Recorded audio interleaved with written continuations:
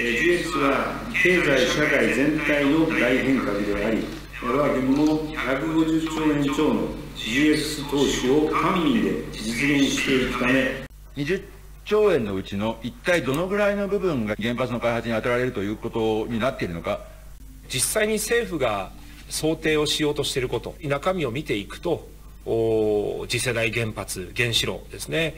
えー、こういうことに巨額の投資を予定しているということがもう明確になってきていますのでそれでは我々としては同意はできないと。あかりちゃん。もちろん。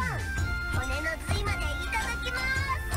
それじゃあレッツクッキング。あさりと切り身のお台所運動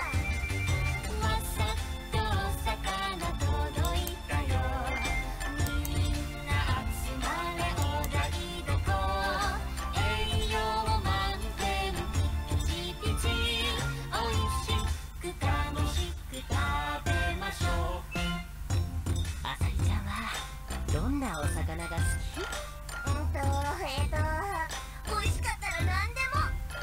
鮭に大根。みんな美味しいよ。それからそれから。